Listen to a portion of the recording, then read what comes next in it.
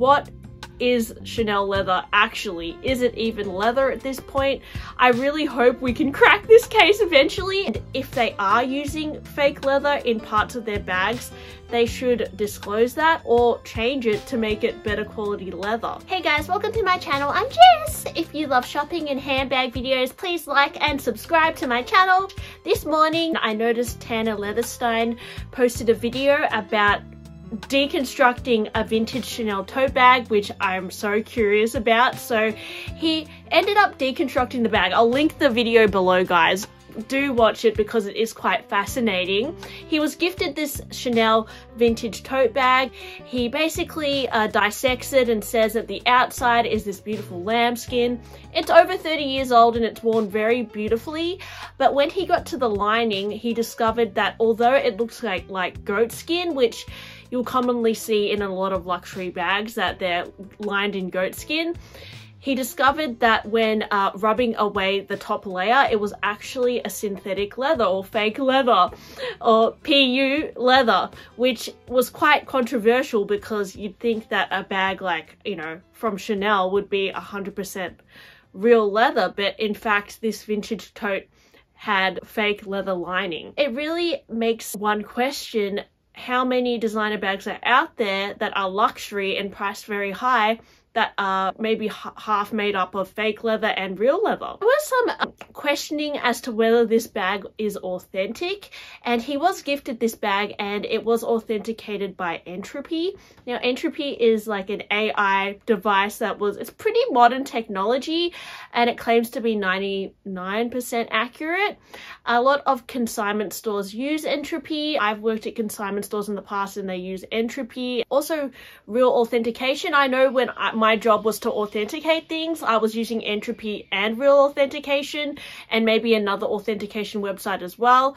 Um, and I will say that sometimes Real Authentication and Entrupy come back with different results. So I don't know if Entrupy is as foolproof as it claims, to be honest, but overall it is pretty accurate and it claimed that this bag was authentic. I was kind of questioning the authenticity of this bag because it's a style that I'm not really familiar with. I have collected vintage Chanel bags in the past but the tote bags that I commonly see often have like those balls on the zipper or a a zipper pull with uh, like Chanel spelt on it, but I don't always see the zipper pull with that big um, CC logo. But I did find this style um, on Vestiaire Collective, sold the exact same style that Tanner Leatherstein deconstructed, and by looking at some of the closer details of this bag, it does look very similar to his, and I would say just by my own rough eye, it does look authentic. There's also another colorway in like a bicolor, like a white and a black. And it seems like this was um, a bag from the 90s. So I kind of have a suspicion that this is an authentic bag, which yes, it was authenticated by Entrupy. Even though a lot of people are saying this could be a fake bag, I I have a feeling it's actually authentic. And if it is authentic, well, that makes us question eh, if the inside is fake leather, then how many Chanel bags out there have interiors with fake leather? I was looking at other vintage Chanel bags um, on Vestiaire, which honestly, guys, Vestiaire is mixed of real and fake bags. Like, predominantly real, but there is some fake ones on there as well. But just by looking at some of the vintage bags, I noticed a lot of lambskin bags had beautiful, like, um, supple outer layers, like, on the outside. But the inside had a very similar appearance to this goat skin uh, texture, which the one leather um, Tanner, Tanner dissected. So, yeah, it will be interesting to discover if a lot of vintage Chanel bags have fake leather lining because I feel like that's going to change people's perception of Chanel. And you know, a lot of people say vintage Chanel is the best quality, la di da. And the thing is, yes, they do hold up and last a long time, but fake leather, I guess, can hold up sometimes. Not always, but it seems like this uh, fake leather that Chanel used in this bag really held up over 30 years. Mm, so it really makes me question all bags. A lot of my Hermes bags are also lined with a goat skin texture, like this omnibus. And Hermes are pretty transparent about what leathers they use. For example, this omnibus is Clemence leather on the outside, which is a baby bull leather. And the inside you can see is a similar texture to that, uh, the fake leather on the Chanel bag. So it's like this kind of like grained uh, finish. And another brand that um, is very transparent about their leather, I would say is Joseph Duclos. If you go on their website, they list all the different types of leather they use in their bags on the inside, like the different pockets and all this. And I think that transparency, good thing to have for a luxury brand because it entails trust in the brand and you know that you are getting a high quality product. But I feel like with Chanel, it's not always about the quality, it's more about the name and the design and the history that that brand has. And although a bag may be made and crafted out of higher quality materials, the fact is it might not hold value as much as a brand like Chanel who has more notoriety and more of a dream surrounded by owning the bag. I don't think that necessarily collecting handbags is all about finding the perfectly crafted bags made out of the best premium leather. It's also about that collectability aspect that adds to the value of the bag.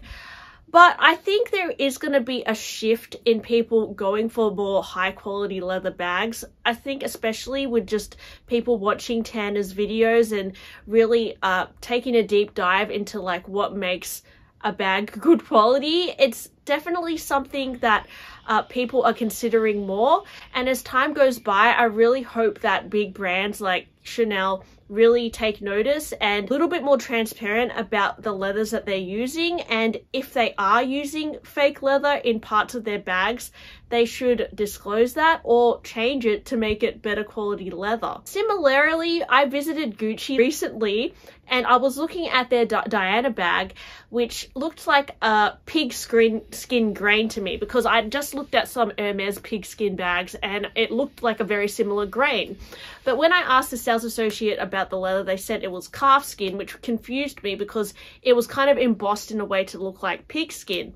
And upon doing my research, I discovered that vintage Diana Gucci bags were in fact made of pig skin. But the modern day ones are not. But I am still actually a little bit confused because if you go on the Gucci website, it says this bag is made of just leather. It doesn't even specify the type of leather. And this lack of transparency is something that I think, for me, it does influence me in terms of if I want to purchase that bag or not. If I don't know what leather this bag is made of, or if it's made of part fake leather, part real leather, I want to know what animal this leather is because that is something that I'm I, I look for in bags. I look for good quality bags. And I think as time goes by and like people like Tanner start dissecting more and more of these luxury bags, it really goes to show that a lot of it is just maybe lies and storytelling and that we're actually buying things that are maybe just a fantasy and it's got nothing to do with the quality at all. I really hope someone gives Tanner a classic flap to dissect because I feel like the leathers on classic flaps have definitely changed over the years. The quality has changed as well and it'll be interesting to take note on what sort of leathers Chanel do in fact use. I think it would be amazing if someone could donate Tanner a Hermes bag to dissect as well because recently he actually bought um, a bag from the Real Real, which was a mini Evelyne, and he wasn't able to dissect it because they actually listed the bag as Togo and it was Clemence. I think it was actually literally this bag, so it'll be interesting to, for him to kind of talk about what makes Hermes leather better than perhaps other leather what and if it's actually worth the price point because I know when I buy an Hermes bag I am buying mainly the name but I also like to know that I'm buying a good quality leather. Um, there are a few things that Tanner says in his videos which kind of show that he's not as knowledgeable about designer bags in general. He's very knowledgeable about leather, but like for example he said that the uh, CC tote that he deconstructed would have cost $4,000 back in the 90s which is really inaccurate. This bag like this back in the 90s would have cost probably like a thousand dollars. Back then in the 90s that would have been expensive but um, yeah, it's nowhere near the price that Chanel is now. And if Chanel are producing bags that are of poorer quality than in the 90s, and in the 90s they were lining their bags in fake leather, well, it really makes you question what you are in fact buying now, particularly with seeing how the Chanel 22 bag wears and how these other bags wear. What is Chanel leather actually? Is it even leather at this point? I really hope we can crack this case eventually and Tanner continues to dissect these bags because I think it's interesting for us as consumers to know because it's I think a way of the future people are going to want to buy better quality made things and especially with the trend of like low-key luxury and like quiet luxury people are looking for more quality made pieces as opposed to brand name and logos. Anyways thanks for listening to my blabby video today and uh, please like and subscribe and let me know your thoughts as well guys and i'll talk to you on my next one. Bye